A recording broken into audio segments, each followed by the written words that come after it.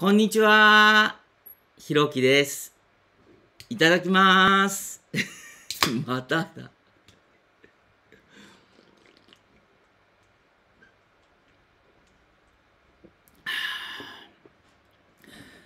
今回は、ファイヤー会へのお誘いというか、募集ということでお話をさせていただきます。えー、どこから話そうかな？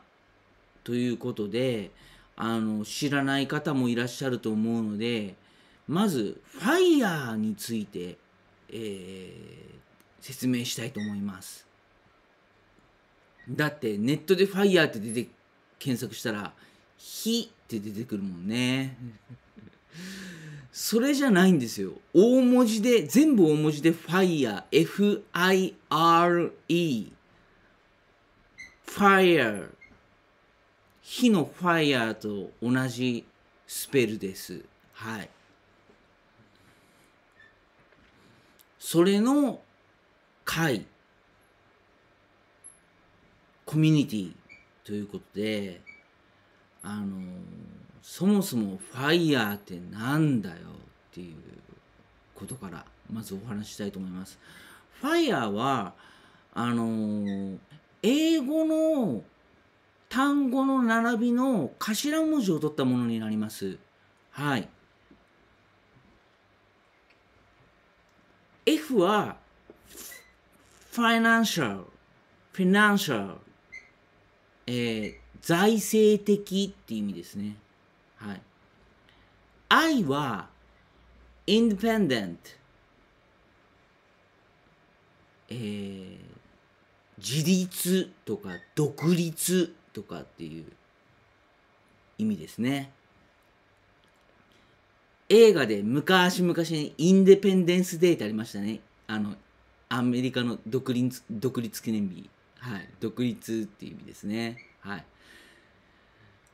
てことは ?F FI は経済的財政的に独立という意味ですね。はい。次 RE いきましょう。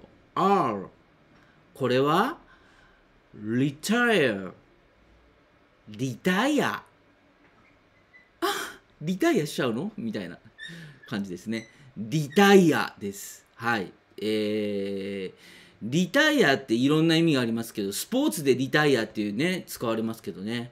ここで言うリタイアは職業のリタイアです。あの、働かなくなるという意味です。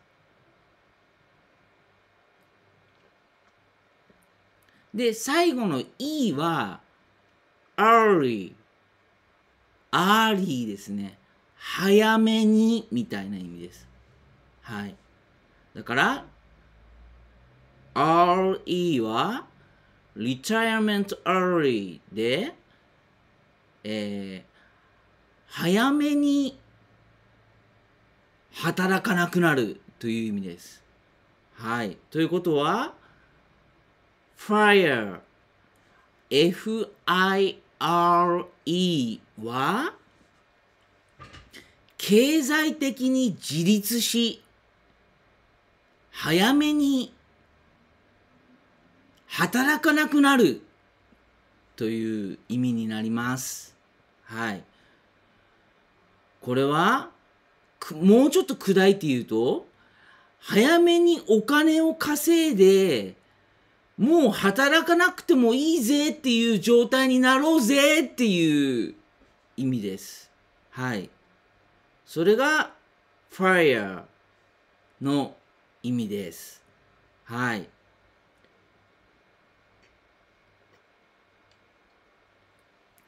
で、そういう人たちって、どうも私の知るところによると、大体お金を稼いで、そのお金を、で、あのーまあ、株なりなんなり、あの、利子のつくものに投資して、その利子、まあ、不動産だったら家賃、あのー株式だったら配当金、はい。国債だったら償還金？はい。な、何でもありますよね、もういろいろありますよね。はい。そういうもので生活をしていく。ということになります。はい。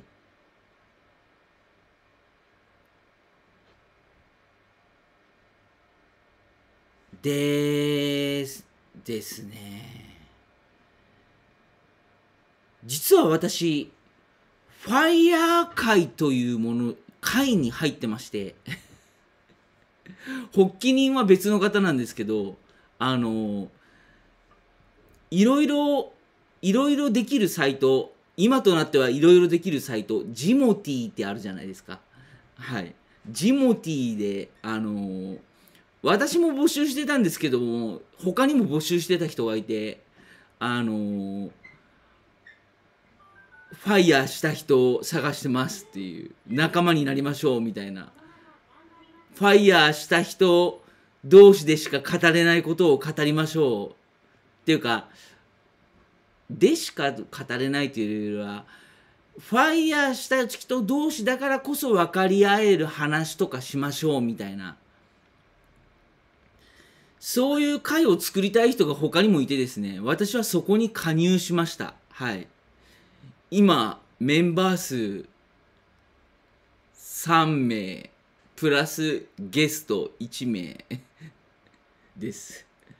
えー、ゲストの方はですね、ちょっと、 Retirement Early、早めの退職ではなくて、単純なお金持ちなんで あの、発起人のお友達なんですよね。はい。その方は、ファイヤーしたわけじゃないので、あの、単純にお金持ちの奥さんっていうことなんで、あの、ファイヤー会には入ってません。けど、ファイヤー会の会合には、あの、いらっしゃいます。ゲストとして。はい。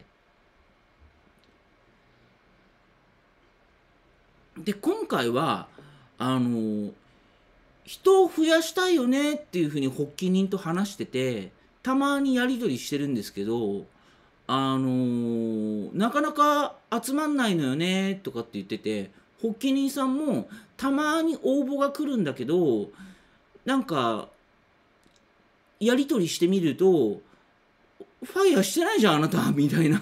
人が人だった人でしたみたいな。ファイヤー目指してるだけの人でしたみたいな感じであのちょっと適合しなかった。みたいなことだったようなんですよね。はい。そこで一応この登録者数の少ないこの YouTube チャンネルでもまあ検索に引っかかってくれればありがたいなと思ってあの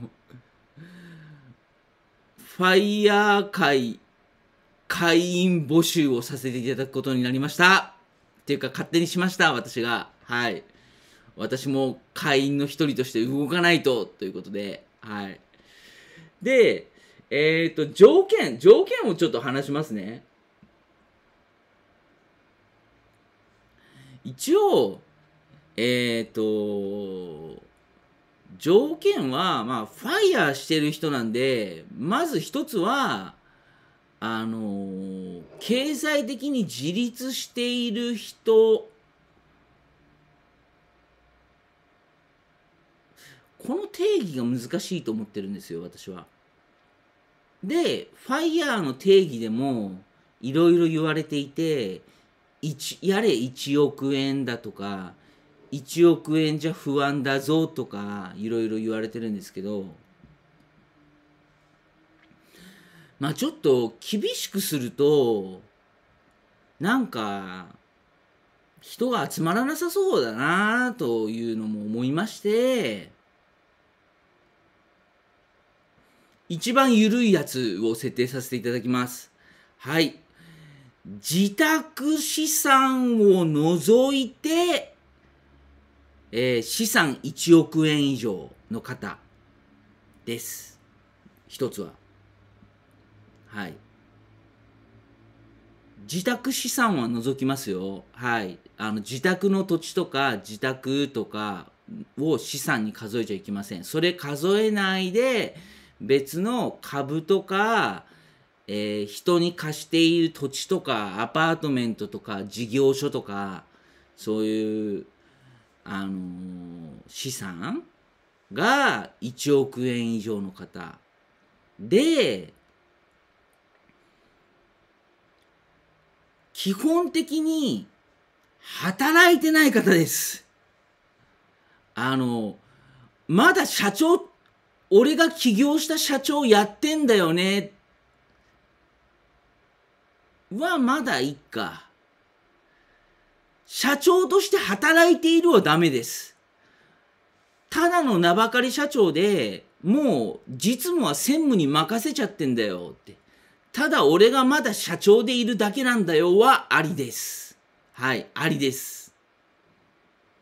はい。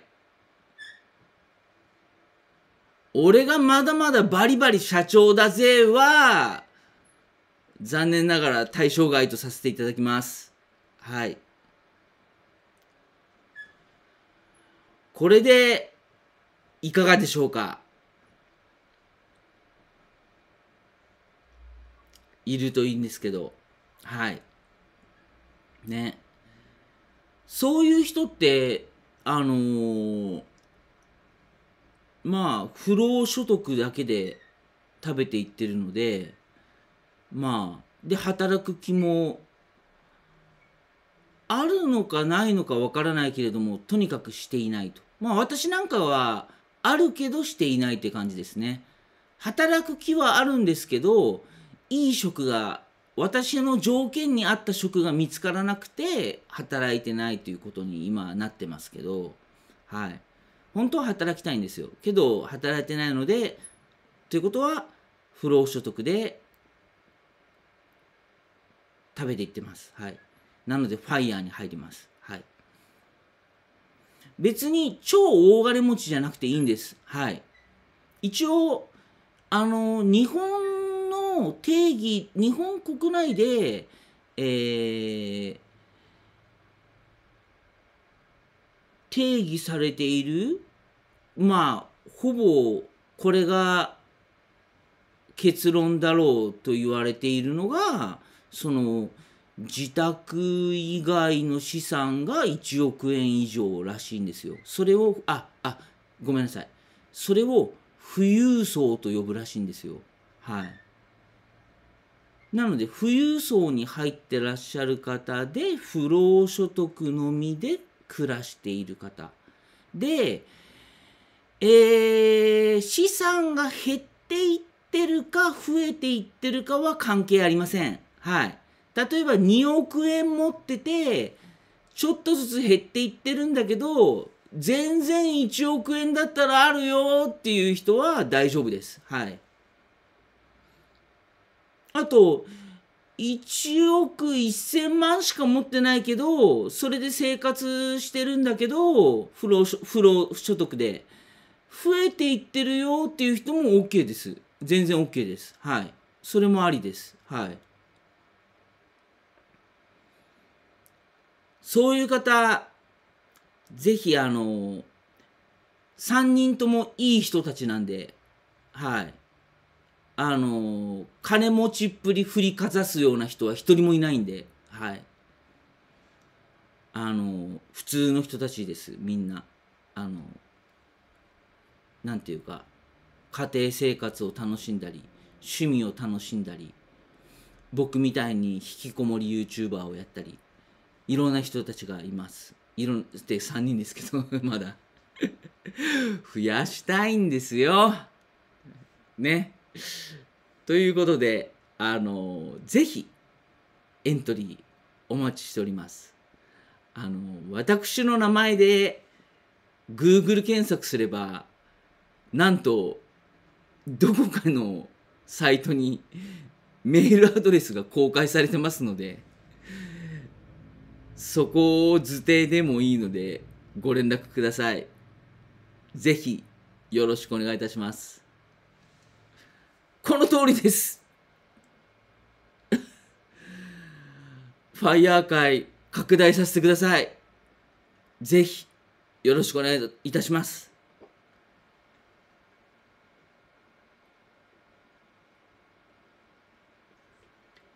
ちなみに、会費はありません。しかも、あの、会合集会って呼んでるんですけど、そういえば集会って言ってました？主催者さんが、発起人さんが。集会。集会は、あの、すごいおしゃれな、けど、お値段全然高くないところを貸し切って、あの、ね、あんまりなんか、ファイヤーの人たちが喋ってると、もう周りの人たちからしたら自慢話にしか聞こえないんで、あの、貸し切って やってます。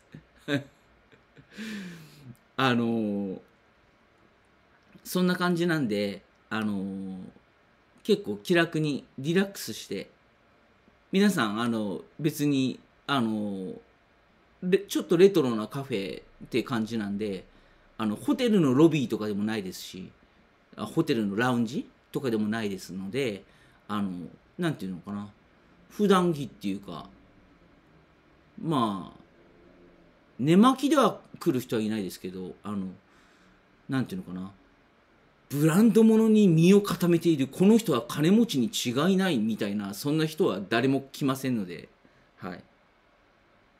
あのぜひ気軽にエントリーお願いいたします。はい。今日の配信は今回の配信は以上になります。え、っとこの募集の動画をいいねって思った人？がもしいらっしゃったら、いいねボタンお願いします。はい。あと、チャンネル登録ぜひお待ちしております。はい。あの、いろいろ、あの、自分勝手に自分の喋りたいことばっかり喋ってるチャンネルですけど、こんなんでよろしかったら、もうチャンネル登録して、見てやろうかな、みたいな感じで思っていただけると嬉しいです。はい。では、また次回の配信でお会いしましょう。さよなら。